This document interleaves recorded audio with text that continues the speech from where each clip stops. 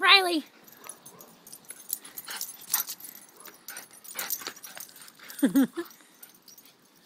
Our new flower child.